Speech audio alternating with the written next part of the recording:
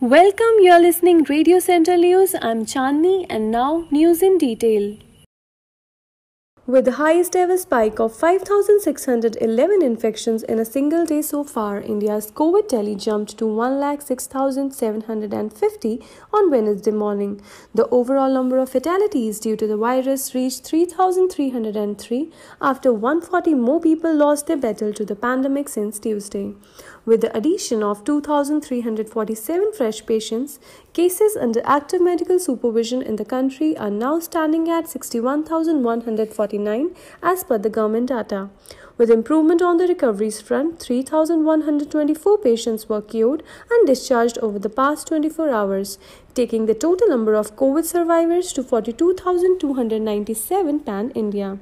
As the country enters third day of lockdown 4.0 with slightly eased restrictions in several states, citizens have expressed concern over the possibility of rapid spread of virus, while the rest are trying to go about their daily lives learning to live in this new normal sort of situation. Two border security forces Jawan were killed in a militant attack in Central Kashmir district of Ganderbal. Official sources said that the two motorcycle-borne militant attacked the BSF checkpoint at Pandach Chowk in Ganderbal and two persons were injured in the attack. They said the wounded were rushed to a hospital where they were declared brought dead. Official sources said the militant managed to escape from the spot. A Delhi High Court has refused to grant early hearing on a plea seeking registration of FIR in an alleged mob violence at JNU campus, citing only urgent matters were to be taken up during the ongoing COVID 19 pandemic situation. A petition was filed by JNU Professor Sucharita Sen, Duty Magistrate Vasundhara.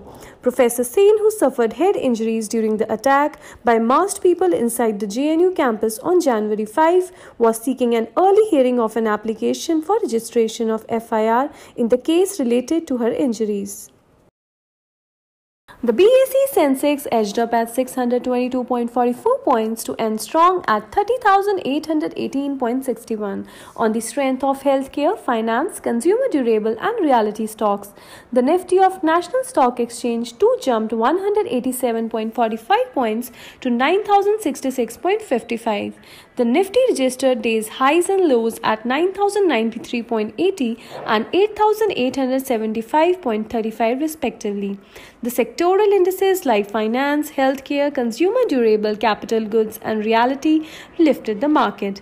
In scripts, HDFC, M&M, L&T, Tata Steel and Bajaj Finance strengthened the market further.